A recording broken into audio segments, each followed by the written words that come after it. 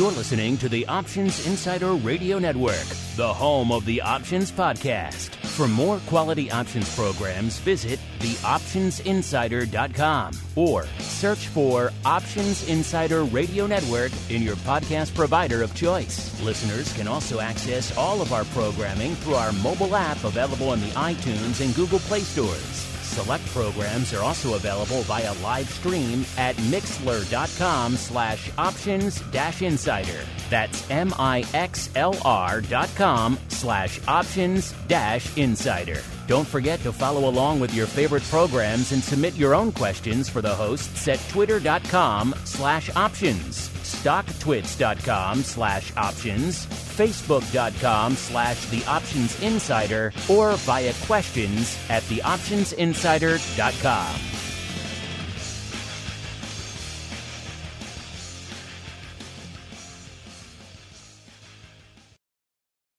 You wanted it, you got it. A radio program that helps teach you options trading inside and out, basic to complex. This is Options Bootcamp. Whether you want to learn how to protect your portfolio, generate income, or even become a master of volatility, the Options Bootcamp drill instructors will break it all down for you. Now, let's get you into peak options trading shape. Here are your Options Bootcamp drill instructors,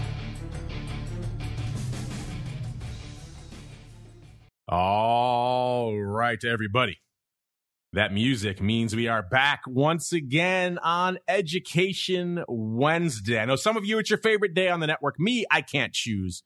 They're all my children. I like every day equally, but Education Wednesday, certainly a fun one. And it means it's time once again for Options Bootcamp. My name, of course, Mark Longo from theoptionsinsider.com, as well as, of course, from the ever scintillating Options Insider Radio Network. Reminding you, of course, A, if you like what you hear, do keep rating and reviewing. Clearly, new people are discovering the show literally every day out there. So we love to see the influx of new people. It's literally what this show was designed for to help you newcomers come to grips with these crazy things called options. If you like what you hear, rate and review on your platform of choice. It does help. Of course, also a reminder for those of you out there just coming in through boot camp, you're missing a whole world of content. It's all there. It's available free on every platform under the sun, pretty much. Uh, close to a dozen shows that you could sink your teeth into, covering all aspects of the options world. More education, like Options Playbook Radio, some more active trading stuff, like the option block or futures option stuff, like this week in futures options, the crypto rundown for crypto options, you name it. We got a show about it, volatility views, all sorts of fun out there. So wherever you're listening to this, make sure you upgrade to the full network feed. It's right there, right next to Bootcamp. You can't miss it. And of course, if you need even more in your lives, and we know some of you do, you want to get exclusive shows like great pro Q and A's because let's face it, you have questions. We get it. We can't tackle them all on Options Bootcamp every week. You guys have a lot of many and varied and far-reaching questions. Then our pro Q and A sessions are for you. We allow you to pick the brains of the greatest minds in the world of options and derivatives. Of course, unusual activity show every Friday, live access to Bootcamp, so you could come mock Dan live during the show as well as, of course, live access to everything else we do throughout the week. And great giveaways. Folks just tweeting out. A lot of them got their pro trading crates recently from our giveaways out there. Those are awesome. Each one of those are completely bespoke. So we create a custom crate for you, filled with the legion of goodies that is overflowing our vault. Remember, we've been running this network for oh, 15 plus years. We've amassed some pretty awesome stuff from the world of options, and we like you. So we give it to our pro members. So theoptionsinsider.com slash pro is the place to go to learn more about all that. And of course, for all you cool kids, slash secret club. And you know what? He's not one of the cool kids, but let's welcome him on anyway. He is the black hatted one himself, Mr. Dan Passarelli from Market Taker Mentoring, also the author of one or two or maybe half a dozen options oriented tomes. Mr. P, welcome back to the show, sir. It is wonderful to be back, as it always is, my friend. And um, we got cool stuff to talk about today. I'm pretty excited.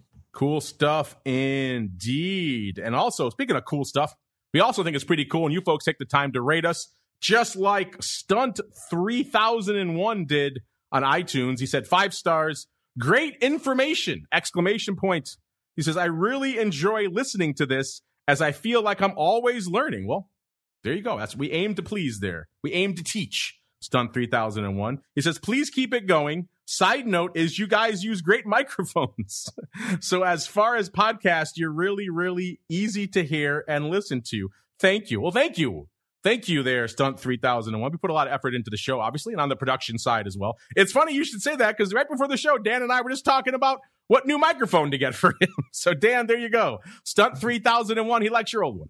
All right. Hey, you know, there you go. I'll cancel my uh, Amazon order. there we go. As we keep on rolling, it is time for a very special edition of the options drills. Colin Boots. Time for our favorite pastime, option drills. We're going to take the strategies learned during the show and teach you how they can be employed to achieve a specific objective. Do you hear me? Yes, sir!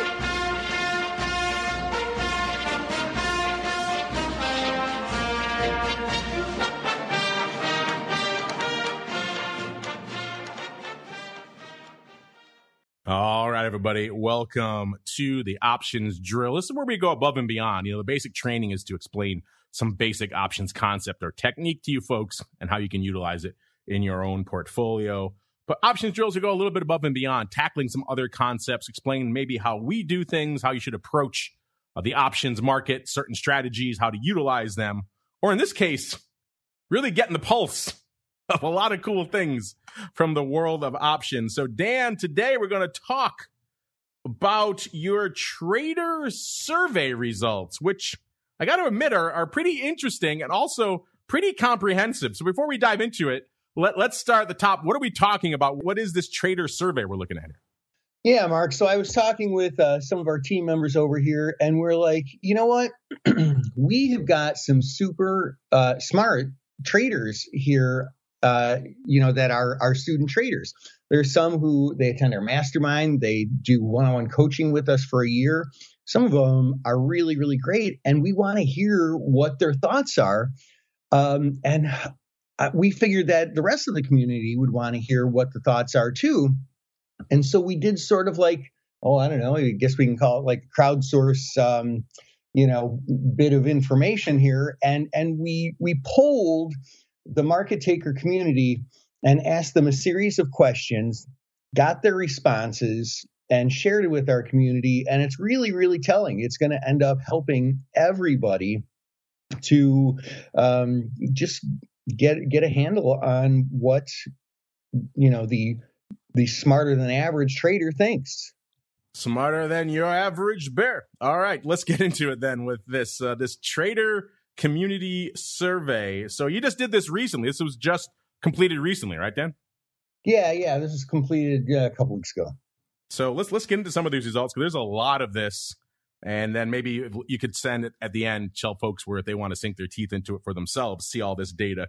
Nice graphs go along with this. This is a nice presentation, Dan, if I do say so myself. So I tip my cap to you, sir. Yeah, there's there's really really good stuff in it. Well, it's your survey. I was going to pick some stuff, but where do you want to start? It's your survey, sir. All right. Well, let's uh, let's start at the beginning. So, um, I mean, I guess just to lay the groundwork for for the listeners here to see, you know, who we're talking about, whose results these are. Uh, 54% have been trading for more than five years, and then 22% we're trading two to five years. So we're talking about, you know, at least 75% of the respondents have, you know, like they, they didn't just show up yesterday and they're, you know, just throwing darts at the wall. Like they, they've got some good ideas as to know what they're talking about, right? Um, and then, uh, you know, like we asked some of this general information sort of about who they are, you know, just for this person so that we can show that, like, these are folks who know what they're doing. Um, let's see, people who spend m- more than an hour a day trading, that comes out to, oh, what does this come out to? 47, uh, more than 60% spend more than an hour a day trading, and uh, about 20, 23, 24% spend at least half the day, if not the full day trading.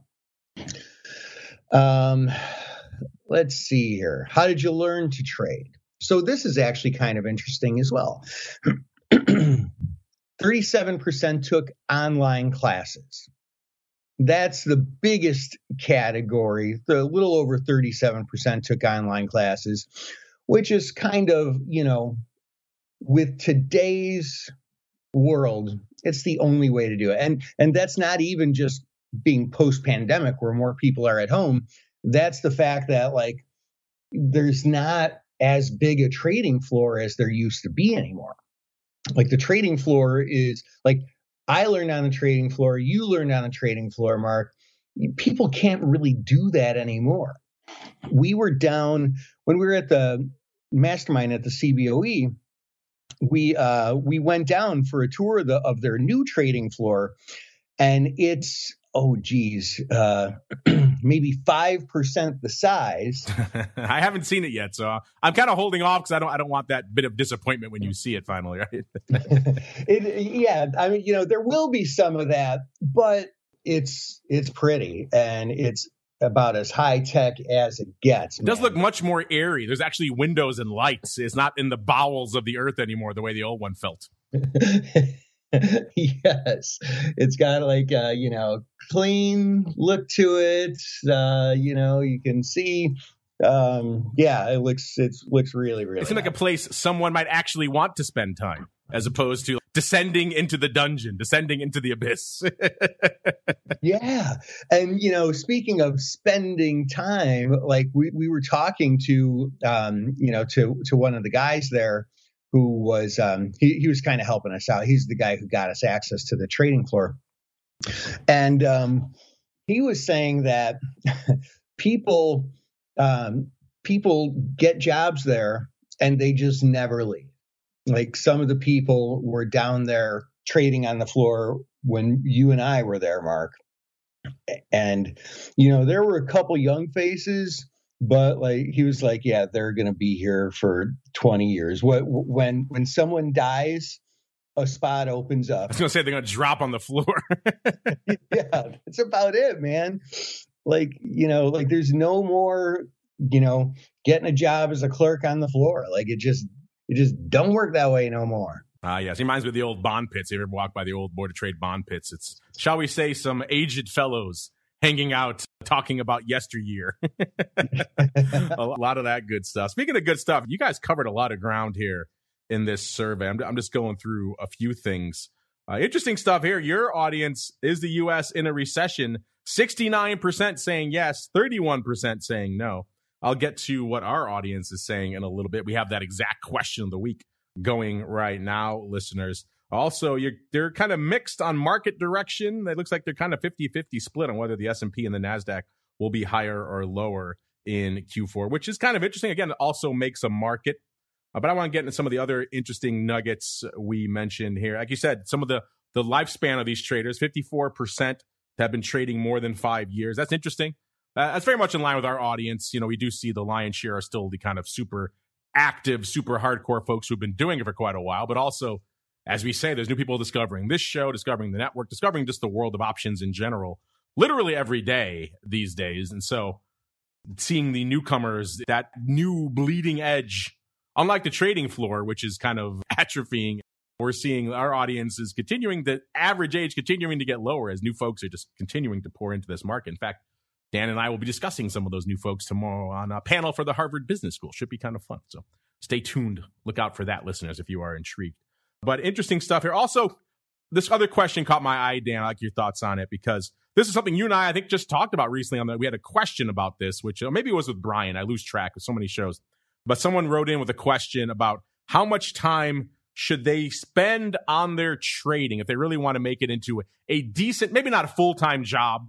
We get that question a lot, but like a decent side hustle, if you will, a decent side income stream. What did your respondents say in terms of how much time they spend trading, sir? Oh, yes, yes, yes, yes. So uh, let's see here. Um, where did it go? Where did it go?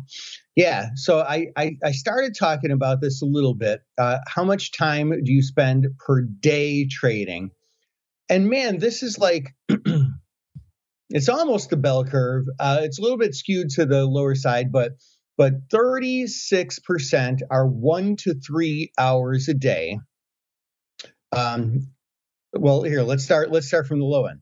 18.49 are less than 30 minutes a day.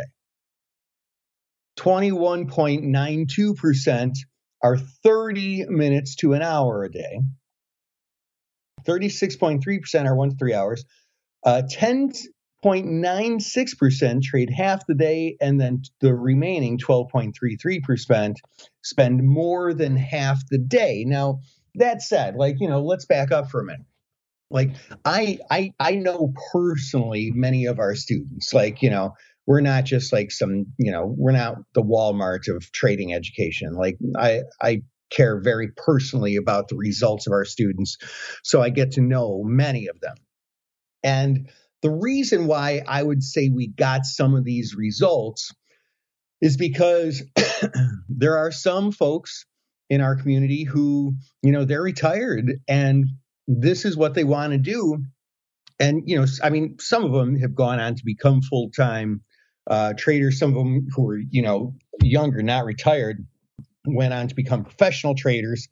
And, and though, you know, the people who have that luxury where they have that time during the day, you know, they fill it trading because they can make money. But, you know, there's a lot of people in our community who, you know, work out in Silicon Valley or, you know, um, work on telephone wires. We had one of those guys. He's like, man, I can't sit in front of my computer all day. I'm literally out in the field climbing telephone poles, hooking up wires.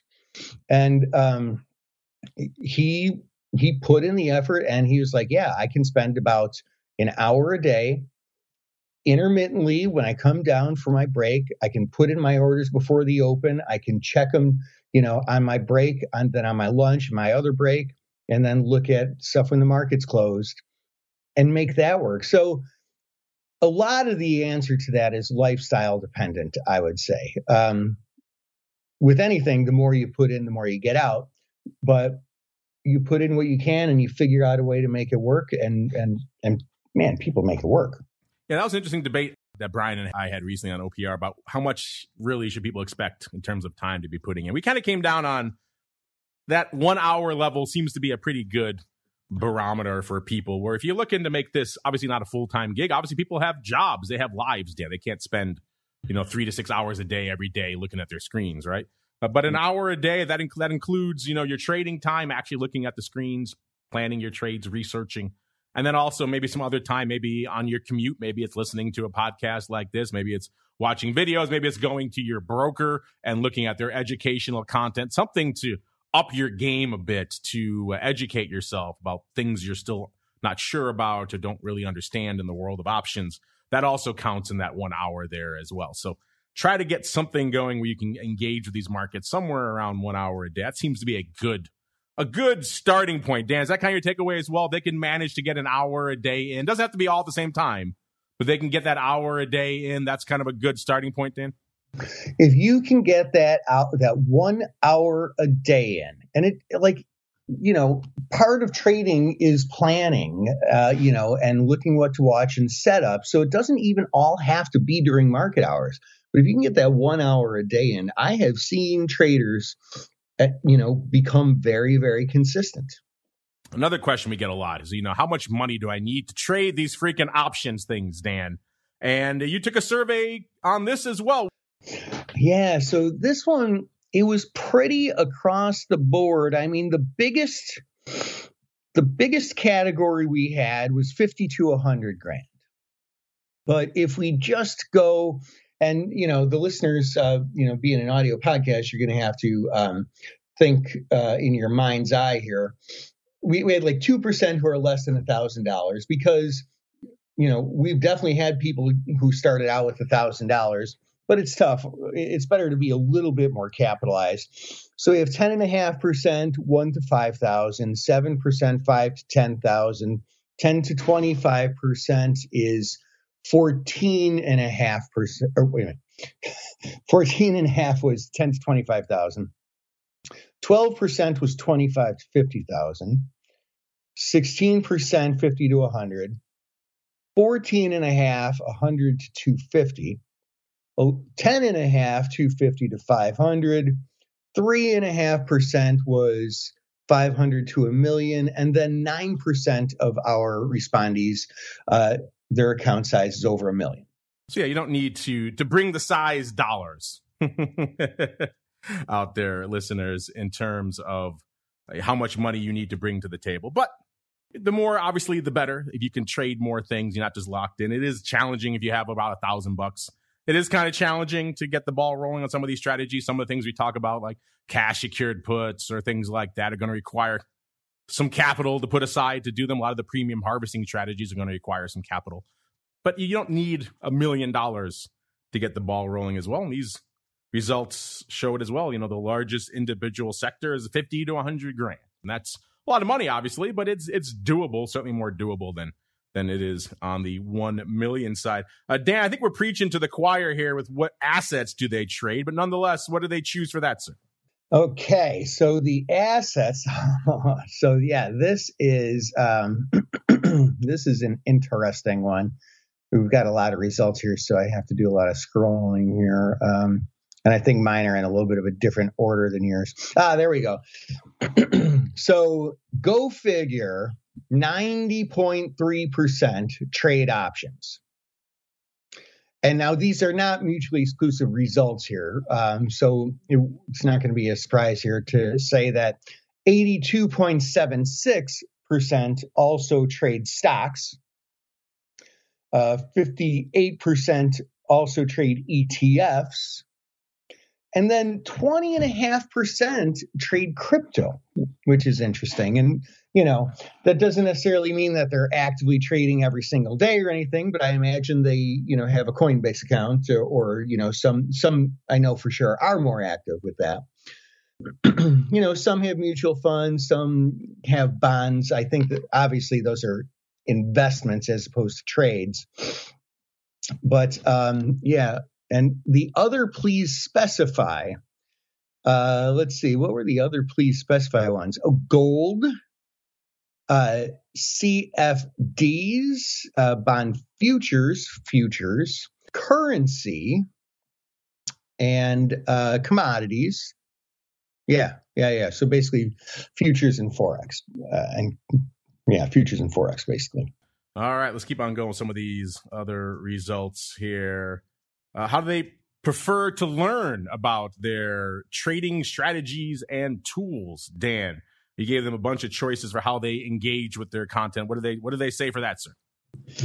Yeah, so the um, you know the the question that I answered before was online, and so I think that that's where a lot of this is coming from. So the biggest thing is webinars or or online trainings. 63.7% were that. And you know, these these again, they're not mutually exclusive. They you could answer these questions more than once. Um, on demand courses as well, which is part of a lot of our trainings, you know, like our our credit spread genius and time spread genius that just came out, like they get the alerts from the exchange, but we want to make sure they deeply understand time spreads and credit spreads. So there's on demand courses that come with it. Uh, 19% uh, prefer one on one coaching, which, you know, I tell people it's not for everybody. You know, it's it's for the people who are, you know, who are really more serious and want to shortcut the amount of time. You know, like people people can do live webinars on demand courses uh, you know youtube you 30% said youtube i mean to be fair every once in a while if i'll be wondering about something i might look at youtube but oh my goodness there's so many so much terrible and wrong information on youtube i try and tell people not to do that but um but yeah i mean you can look at the on demand courses the live webinars you know, sift through troves and, and troves of crappy YouTube videos to find something that actually is accurate and can actually help you. Or you can just say, Hey, I'm going to do one on one coaching. And it's like all dedicated exactly to you. We skip over all the stuff you already know. And, um, you know teach you the stuff that for your personal trading style situation capitalization goals uh you know get you to the to your goals faster and so yeah 19 20% you know they just choose to go that route and, and hit the easy button All right, and then let's get into some of the what your folks think because what's going to happen to the market. What are the chances the S&P 500 will close the year at or above 4,000? Mr. Dan, what, what does your audience say for that? What are the chances that the S&P 500 will close the year at or above 4,000? All right. So oh my goodness. It is literally about split 50 50. I mean, it's like right down the middle. Um, wowsies. Now, if you ask me, you know, I mean, we just did this survey, what, a couple of weeks ago. If you ask me, that's a little that's a little bit bullish, I would say, right? Because when we did this survey, we were, you know, a fair amount, uh, 25% or whatever, below 4,000. So for 50% of the people to say, you know, just think about this like like you would the delta of an option, right? We're looking at the delta of the of the 4000 strike. Um, pretty far out of the money calls. And my my people are assigning a 50 delta to that. You know, that being said, in our classes, I do like to sort of uh, try and try and exude a lot of positivity, you know, as much as I can, um, and and not necessarily paint a rosy picture about the market, but just positivity about self, you know, uh, try and try and get our people thinking positive, like I can do this because everybody knows, you know, uh, Henry Ford said it best, right? Uh, whether you think you can do something or can't do something, you're right, right? Um, so that's maybe that's where a little bit of the uh, optimism comes from with our group, or you know, maybe they're just um, maybe maybe it comes from the research too. It's hard to say. Actually, this is kind of interesting one too. You asked him. This is the question we get a lot from people on all shows: is our favorite brokers. Which brokers do we like? Out there. Dan, you took this same question to your audience. They seem kind of evenly split across the board, sir. What were some of the results from this one? Yeah, so this one, uh, swim with TD Ameritrade was was the biggest category here. That was about 38%. Um, and then Fidelity was about 18%. Uh, interactive brokers was 10.3%, and Charles Schwab was 6.9%. E Trade 5.5%. And here's the thing like, I would say that, like, I think it's important to look at this, you know, just to get a feel for what's going on in the world. And, and, and that's what these results, in my opinion, really represent I don't think that it's a referendum on which one is better. I think that it's simply a cross section of, hey, here's what people are doing. And so, like, therefore, it's not a surprise because TD Ameritrade was 90 some percent of my people trade options. TD Ameritrade was the biggest options broker in the world by far, just squelching the rest of them. And that was before this recent merger, right? So, like, they're giants. In fact, I'm surprised, honestly, that more people aren't on that platform just because that's that's where most options traders are housed by and large. But um, you know, Fidelity is is a great option trading firm, and um, you know, I mean, IB has a lot of great tools. Just their customer service makes you want to put a bullet in your head. Um, but yeah, it's uh, yeah, that that that was a pretty good and interesting cross section for sure. I like how you uh, break up Schwab and which is kind of the, the juggernaut now and Fidelity. We've had all of them on the network represented in one way, shape, or form over the the 15 plus year history. E Trade, uh, IB, Thinkorswim, all sorts of Thinkorswim is now obviously part of the the Schwab juggernaut, but it's kind of its own separate thing. Uh, before we get into some questions, Dan, any other salient results or highlights or maybe surprises from your survey that you want to share with our audience? Oh, yeah. what stock or ETF, and this is, you did a survey like this recently too. um, I, I gave some more choices here, but which stock or ETF do you think will have the highest percentage gain in value in the fourth quarter? And so remember, this is a couple weeks ago, a few weeks, three weeks ago, something like that. Tesla was the biggest one. So far, that's going against them. But uh, Q4 sure is not over. We're in fact we're only like not even three weeks into it.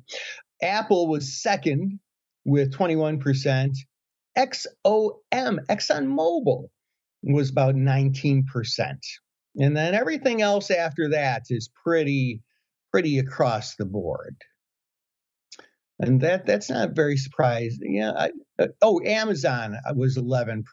That that one kind of surprises me a little bit. I think it might be tough for Amazon to uh, be have the highest percentage gain in the fourth quarter with interest rates rising. Um, let me let me just look and see if there's one more. There were a couple other real interesting things here. Oh yeah, which sectors?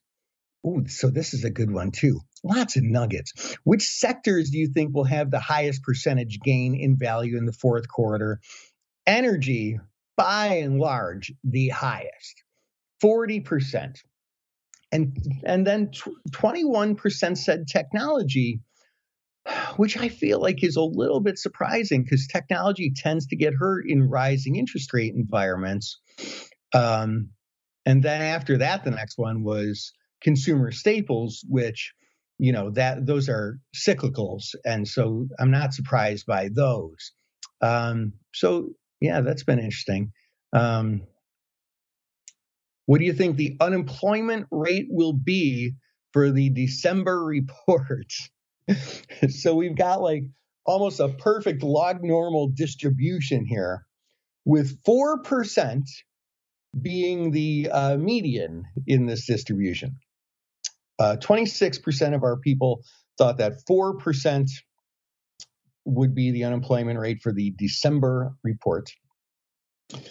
Um, and then, then you know that strike is pretty well straddled. Three and a half percent was 19% of our people, and uh, 14% of our people said 4.5%. So there, I mean, right there, we've got almost, you know, almost everybody who responded was between three and a half and four and a half.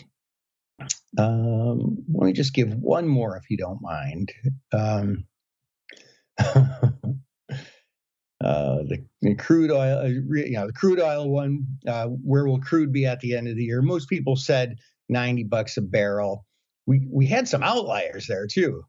Some people said 18% said 90 bucks a barrel, 7% said 100 bucks a barrel, 7% said 80 bucks a barrel. That was an interesting one. We had some good outliers there. Oh, 6% said over $110 a barrel. Um, and that Okay, wait, one more, one more. This is fun. I like doing this. what do you think the Fed funds target rate will be on December 31st? Man, there were some optimistic folks there. This was kind of a little bit across the board too. There was only there was only about 22 percent 21 percent saying above 375 basis points. So there was a lot of optimism of of rates coming down a little bit. I don't know if I see that happen. Okay, okay. That being said, um, we're probably a little bit over time here anyway. So let, let me pass the torch. I love talking about this stuff. Oh, you know, one more thing before I do pass the torch. For those of you who um, who find this interesting, we, we we're doing this every quarter now, and you guys who listen to this show, Options Boot Camp, we would love to have you participate too. And really, all you have to do is go to markettaker.com slash join free. And, uh, you know, we send you an email asking for your opinions on this stuff. That's going to be coming out in about another month and a half. So um, we would really love to hear from you as well. There we go. Speaking of hearing from folks, let's get to some of you on the show right now. Mail call. Time to look at questions submitted by our listeners.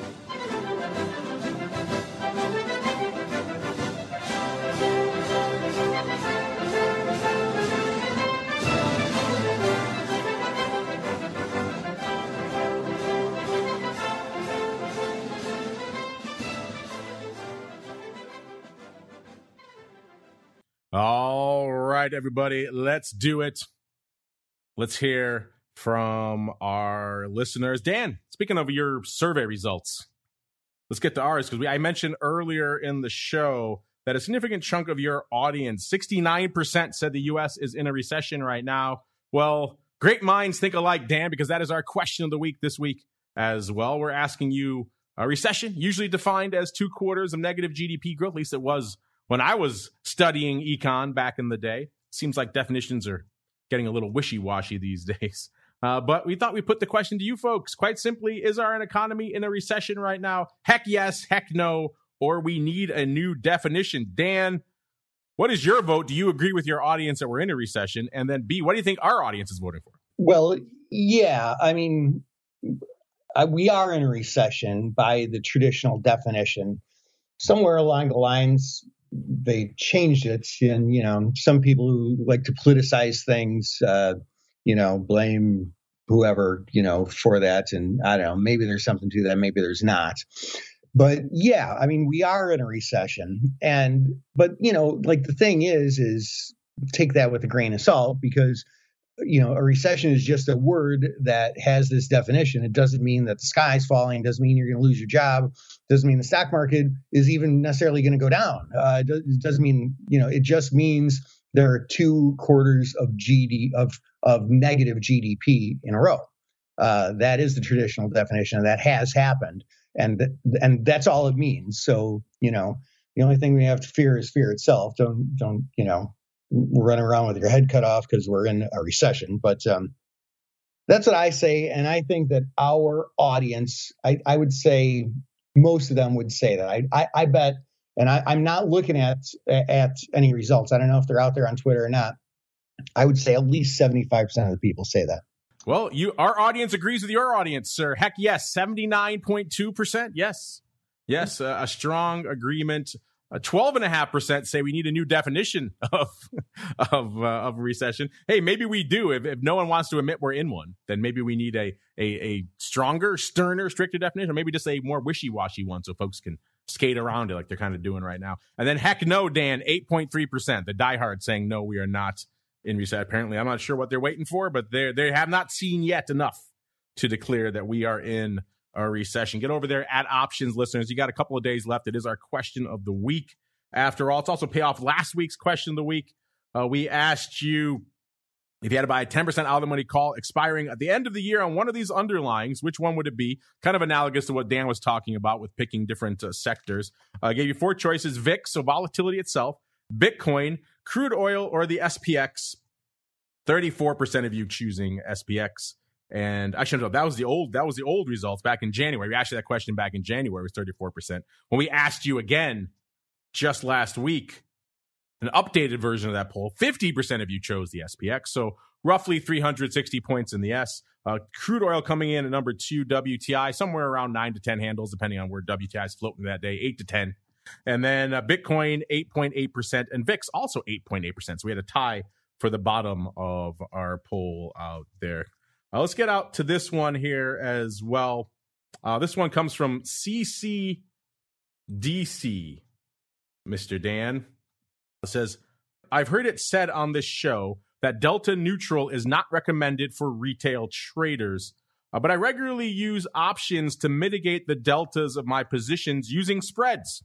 Is this not delta neutral trading? Can you discuss this on the program? Yeah, Dan, you and I have said before on the show that Delta neutral is not exactly recommended for retail for a variety of reasons. It's cash intensive, requires a large account, it requires very favorable margin treatment. You know, you're buying options, selling stock or futures, whatever the case may be, against it. So obviously that ties up a lot of capital. It's expensive, and you, usually retail accounts are not operating on the scale and the margin necessary to make this type of trading really profitable. But Dan, he says what about instead of using stock, he uses options against his options, and he calls that delta neutral, sir.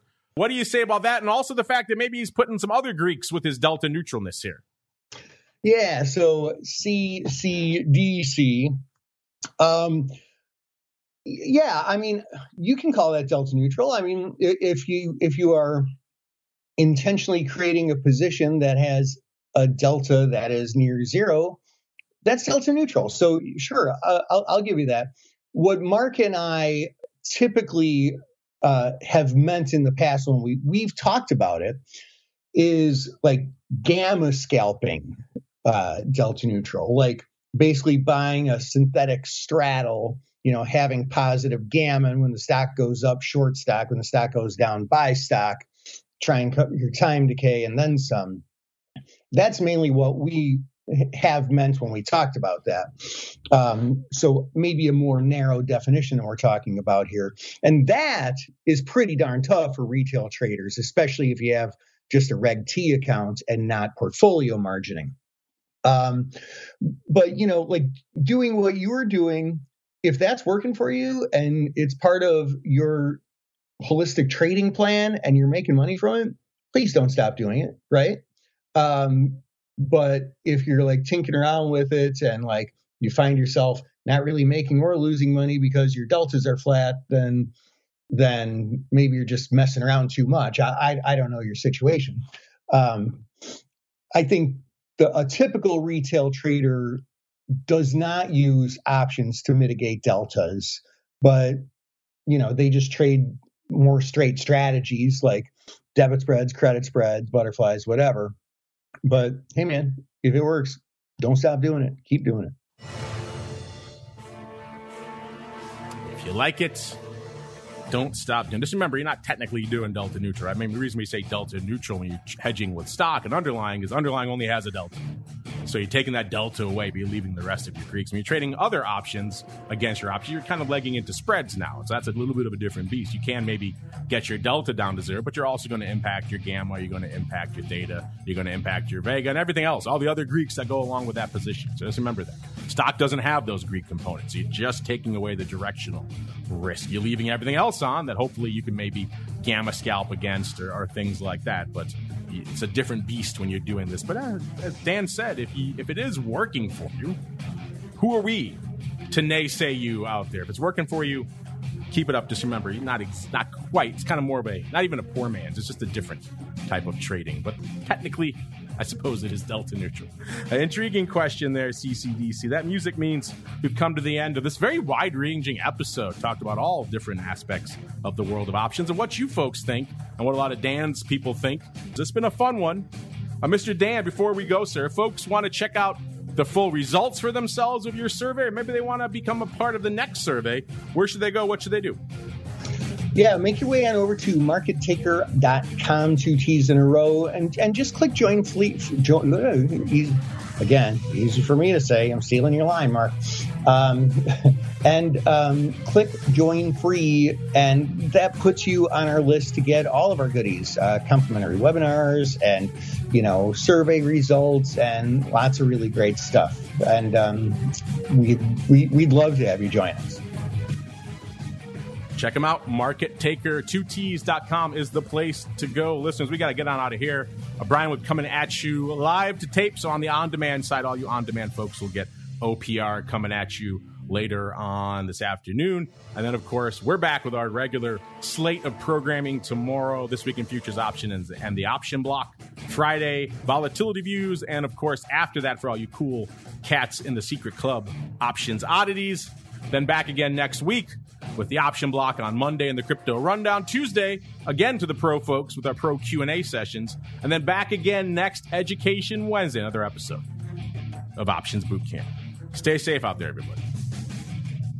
You're listening to the Options Insider Radio Network, the home of the Options Podcast. For more quality options programs, visit theoptionsinsider.com or search for Options Insider Radio Network in your podcast provider of choice. Listeners can also access all of our programming through our mobile app available in the iTunes and Google Play stores. Select programs are also available via live stream at mixlr.com slash options dash insider. That's M-I-X-L-R dot com slash options dash insider. Don't forget to follow along with your favorite programs and submit your own questions for the hosts at twitter.com slash options, stocktwits.com slash options, facebook.com slash the options insider, or via questions at theoptionsinsider.com.